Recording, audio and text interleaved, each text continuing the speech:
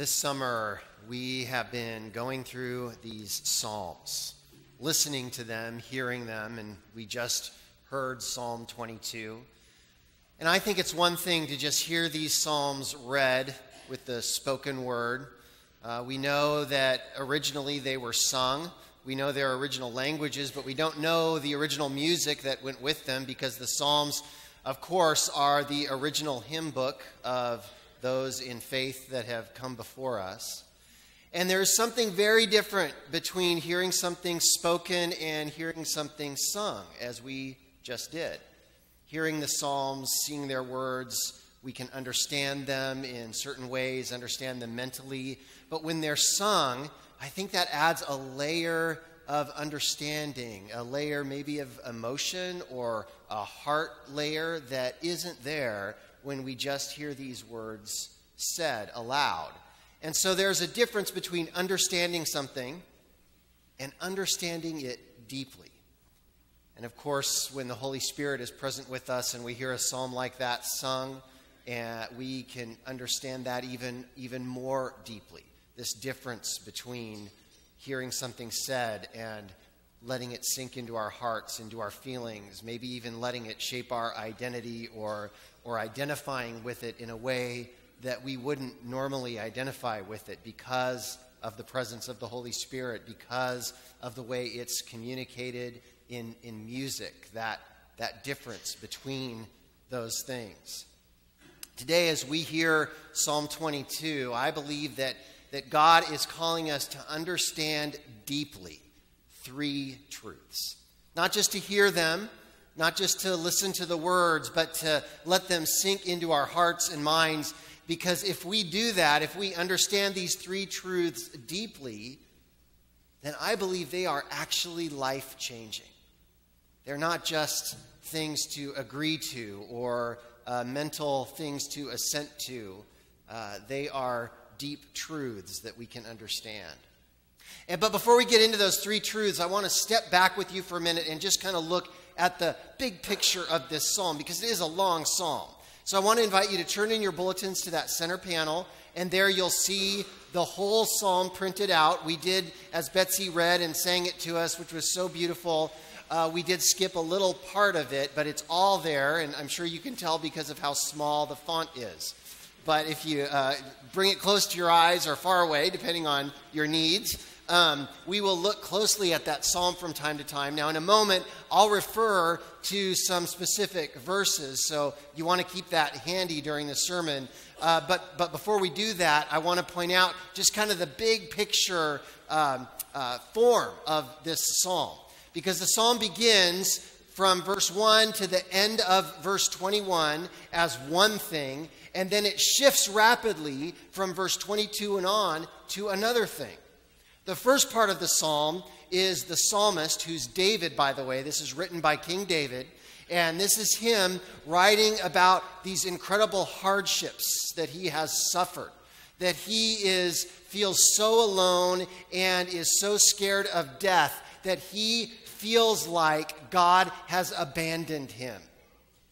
For David, in that first part of the psalm, he has the appearance of God's absence and he feels that so incredibly deeply. And then at verse 22, all of a sudden it's a big shift. And suddenly David starts praising God and uh, singing the glories of God and uplifting God. And so we have this major tension in the psalm. On one, on one side, the appearance of the absence of God, and on the other side, the glory of God and the goodness of God and the promises of God and the, the acknowledgement that God is never absent. And so, how do we understand this tension? David, as he writes this, is certainly living in this tension. He deeply understands, not just mentally understands, but deeply understands in his heart the reality of these two things these two almost extremes, we could say. He lives in that tension. And there are times we live in that tension too. There are times when we absolutely feel like God has abandoned us. And yet at the same time, we know in faith that God is good, that God is kind, that God is faithful, that He keeps His promises, and that He is there with us all the time. That's that tension that we live in. The Psalms, you know, were Jesus' prayer book too. Jesus would have prayed these prayers with his family. He would have prayed them every day with his mother, Mary, with his foster father, Joseph. He would have gathered at least weekly with his community and prayed these prayers together. He knew these prayers. And that is just one little way. We'll talk about another way later, but that's one little way that we know that Jesus himself understood this tension too. This tension between the feeling of the appearance of the absence of God and the goodness of God. So we live in this tension. But this psalm brings us three truths that enable us, equip us to live in this tension in such a way that, that we can live fully for God and we can even see beyond this tension. And I'll, I'll tell you how to do that in a moment. But first, the, the first truth that we want to hear from this psalm and that we want to deeply understand from this psalm is our experience of the presence of God we want to understand and think about our lives the way David is in the first part of the psalm. That sometimes, even though we know that God is present, we know that He's promised to be present, we want to understand that that is not always our experience. That our experience is often uh, this sense that God is not present in our lives that there are times of suffering, that there are times of fear, there are times of doubt, there's concern of death, even like David is describing in the psalm. There are these dark times when we might think that God is not present. As we think back on our lives, you probably can think of a time or a season like that, or maybe you're in that kind of season right now. When I was a, a, a kid, a, a teenager actually, my grandfather died, and I remember it was uh, very early in the morning, like 2 or 3 a.m. That's my memory anyway. And, and uh, I remember my dad got a call, and we all went over to my grandma's house to gather and to grieve. And we had a new pastor at the church, and he came to be with us at that early hour. It was amazing. He came and, and sat with us, and I don't remember him saying a word. I don't even remember him praying, though I'm sure he spoke and I'm sure he prayed, but I just remember him being there.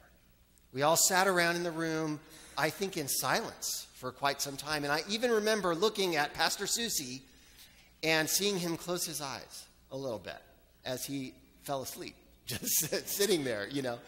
But his presence there was so meaningful. In seminary, in a class, and every pastor will tell you this, that when we talk about Christian caring, one of the things that's popular for Christians to talk about, about being there for one another and caring for one another, we say things like, you know, 90% of it is just showing up, just being present. And I actually, I understand what that means, and I think what it means is right, but I, I just wouldn't say it that way. Because showing up is so important. There's so much more to it than that. Because if Pastor Susie hadn't been there, it's not just that his absence would have been felt. It's not just that we would have would have wished he was there and he wasn't. There actually would have been an emptiness. There would have actually been something nearly tangible missing from our grieving process. We needed him there. But if he hadn't been there, it, it would have changed everything. Now, magnify that when we think about what it's like to feel that God isn't present. To be going through something and wonder where God is, to cry out to God and ask God why He isn't there. Think about a time in your life when that was you. When did you question where God was or ask God why he had allowed something or wondered if he would show up in your life or in the life of a loved one. What was that like for you? Was it, was it as devastating as it was for David? Because David starts this psalm with that, that chorus that we sang. That's the first line of this psalm. He says, My God, my God, why have you forsaken me? He cries out to God because he's going through this horrible thing this dark time. Now, when we read through this and David is describing all of these things that are happening to him that he's afraid of, we actually don't know what experience he's describing. Because we know a lot about David's life, and there's nothing in David's life that parallels what he's describing. So he is talking about some dark time in his life that we don't know. There were certainly dark times that we know. He was ill, but this is not an illness. He ran away from Saul, fretted for his life in that situation. He was nearly stoned in, or, or threatened with stoning anyway in 1 Samuel, but none of those quite fit what David is experiencing. But nonetheless, we certainly know that whatever it is that he's going through, he understands it deeply. He knows it. Let's look at a few verses. If you look at your bulletin, in verse 1, uh, he's got this cry that we just affirm My God, my God, why have you forsaken me? Why are you so far from helping me? From the words of my groaning. In verse 2, he says, I cry by day, but you do not answer by night, but I find no rest. In verse 3, he talks about how God has helped his ancestors, and we might read that in another context, another context, like, great, God helped his ancestors, but that's not what he means here. What he means is, you even helped my ancestors. Why aren't you helping me?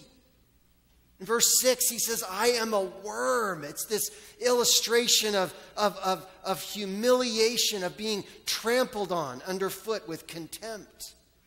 And in verse 7, it adds this whole new layer of not just suffering, but also persecution, because enemies come into the scene and they, and they mock him. Hostiles have now entered the picture. So it's not just suffering, but he's also being insulted. And then in verse 14, we have this description of his whole being. And he says, I am poured out like water. All my bones are out of joint. My heart is like wax, it is melted within my breast. And then throughout the entire first section, we hear that he's surrounded by dogs, he's surrounded by evildoers, by bulls, by lions, by oxen. This is the absence of God that he feels that he's describing. He is being incredibly honest. He's being painfully realistic. I mean, this is a pain that is beyond just, just emptiness. Like when you have a dinner party and you've invited some guests and then someone doesn't show up. You miss them and might even be awkward because everyone was expecting that person and you look at that empty chair and you know that that person didn't show up. Well, that, that is nothing compared to the absence of God in David's life. David knows his experience. He understands deeply what it means to experience this, this absence that he feels. Do you know yours? Do you understand it deeply like David did? If you were going to write this psalm yourself, if you were the author of this psalm, what would you write?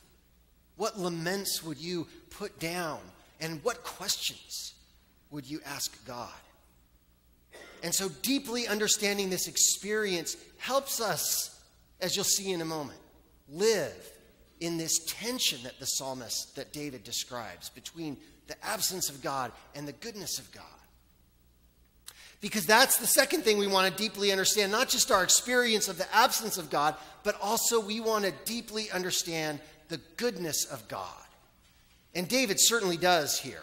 This psalm, it's like whiplash, right? You've got all this lament, and then suddenly God is good. There's so many great things about God, and he, he lists them and he goes on and on about them.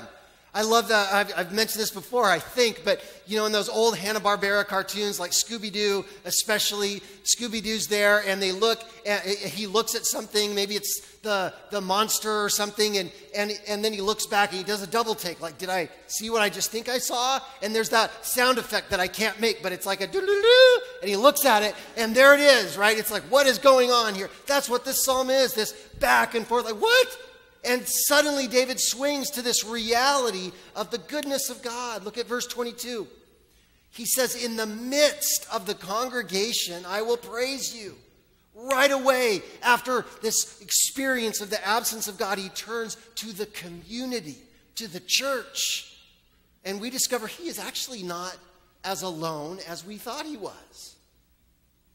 In verse 24, He says, God did not hide his face from me, but he heard me when I cried to him.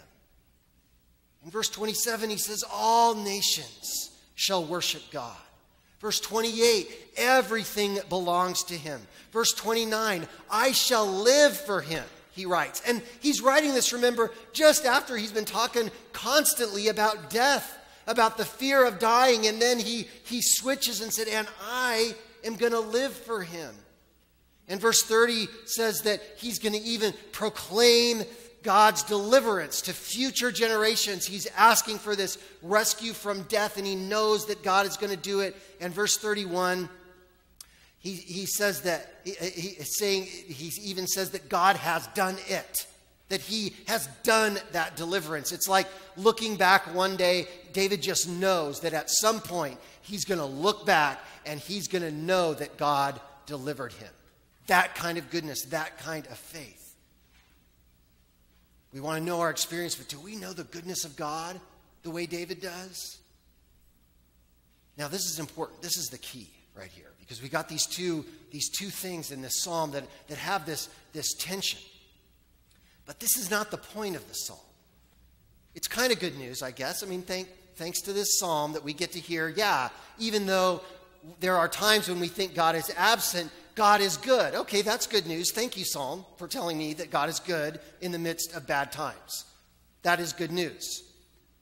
We think maybe that God is not present, but the other side of this is that God is always good, and, and that is great news. But the reality of this psalm is not just, hey, you know, there are times we think God isn't, isn't there, but he's really there when you think he's not. That's good news, but it's, it, there's more than that. In fact, this third thing that we want to deeply understand from this psalm is actually the best thing that you're going to hear all week. It's the best thing I've actually ever heard in my life. Because the thing to deeply understand, the third and final thing to deeply understand from this psalm is the gospel of Jesus Christ. The good news of Jesus Christ. It's actually in this psalm. And it is, in fact, the one thing that doesn't just settle the tension between these two things. It is the one and only thing that actually completely sets us free from that tension. Because as David is describing all through the psalm, whether he's talking about God's goodness or, or the lament that he's, he's talking about, he is describing two things. First, he's describing this experience that we don't know that he what it is exactly, but he's talking about his own experience. But secondly, he is prophetically talking about the crucifixion of Jesus Christ. That's why this psalm is something that has been called for a long time, centuries and centuries, the fifth gospel. Because the whole gospel is in this psalm we immediately see these connections from the psalm and what happens in it to the crucifixion that you heard as Heather read. Let's look at a, a few of those connections. Uh, first of all, verse 7. David's talking about being mocked, and we read those, and that is exactly what happens to Jesus. In Matthew, people walk by Jesus, and, and Matthew tells us that all who passed by Jesus derided him, mocked him. In verse 8, those, those mocking David say, Let God rescue him. That's exactly what they say to Jesus Christ. They say, Ah, he trusts in God. Let God rescue him. The priests say that to Jesus. The scribes say that to Jesus. The elders say, even, even the thieves on the cross next to Jesus say, do their mocking of him in that context. Verses 14 to 16 actually describe what crucifixion is like, even though crucifixion as a form of, of punishment was not even known until Roman times. Verse 18, they cast lots for clothes in verse 18. And we know that that happened too at the crucifixion. They, when they had crucified him, one of the Gospels tell us, they divided his clothes among themselves by casting lots. And then, of course, that first verse Jesus, as he dies, cries out, Eli, Eli, lama sabachthani. My God, my God, why have you forsaken me? He uses this psalm. And it's true that just saying the first line of a psalm was like its title. And, and Jesus, in many ways, was referencing the entire psalm, his psalm, his prayer that he grew up with in his prayer book. He calls that out on the cross because this is what's happening to him. And David is being prophetic here. And Jesus calls out on the cross this very thing. And as he does that, he understands that tension. He is in that tension. He knows the, the experience, the appearance of the absence of God right then and there on the cross. And he also knows the goodness of God right there on the cross that God is good and that God can help. That's the message of the gospel. And when we understand it deeply, then we discover that it is through the very things that make us think that God is not present. It's through those very sufferings and those very, the fear of death and even death itself. It's through those things that make us think God isn't there that God becomes the most present.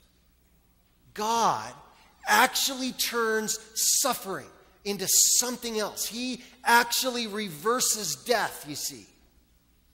That's the very way he saved us. He's using those things in the psalm that David is lamenting to be present for the whole world and even for us. Let me tell you what I mean because in the psalm, right, David David prayed for rescue from death. That's what he's asking for. But Christ his rescue was accomplished by death.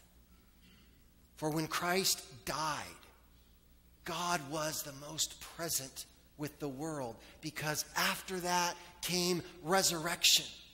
God enters into suffering, He changes it. He doesn't just show up. It's not just some kind of sentimental presence, some feel good presence. He actually comes and He changes these dark things, these hard things, these suffering things. Now, our awareness of the presence of God might not be there at any given time. We might be really struggling, uh, even from time to time, or some of us for our entire lives. But even when our awareness of His presence isn't there, we discover that He, he that his being present on the cross has an outcome, that there is a result of that presence. Something real has happened, something real has changed because the good news changes those, those things, those sufferings, transforms them. I, uh, this was many years ago. Um, I was with a family who uh, the mother, grandmother, uh, was near death, and she had been supported on machines for a few days. Uh, and the time had come to turn those machines off. That was a decision that the family had made. There were the brain activity wasn't there. She was the matriarch of the family, and it was time to say goodbye. And so the whole family gathered around the hospital bed, and they asked me to come and to, to, to be there with them. We said a prayer, and the doctor and the nurses there uh, did everything so kindly and nicely. But when the machines were turned off, took a few minutes, and then the nurse made the pronouncement.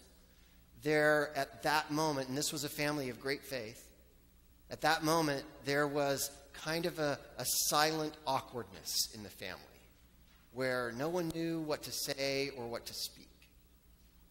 And at that point, I read a passage of Scripture. And it was a gospel passage, a passage that affirmed that death has been changed because of what Jesus Christ did. And after we all heard that passage, that, that good news, suddenly it was completely different. The sense in that room changed radically from this awkward silence to really this sense of peace and joy as they gave thanks to God for their mother, their grandmother, their great grandmother's life. It was an absolutely tangible difference. That tension, was, they, they stepped above that tension. That's the tension we live in. But if we understand deeply that experience and we understand deeply the goodness of God, and most of all, if we understand deeply the, the, the message of the gospel, we rise above that tension. We understand that it is through the worst things that God can give us the best. That God can transform pain and suffering into joy, that He actually changes death into life, and that He lets us know that He is really present, even when we think He's not. Amen. Let's stand.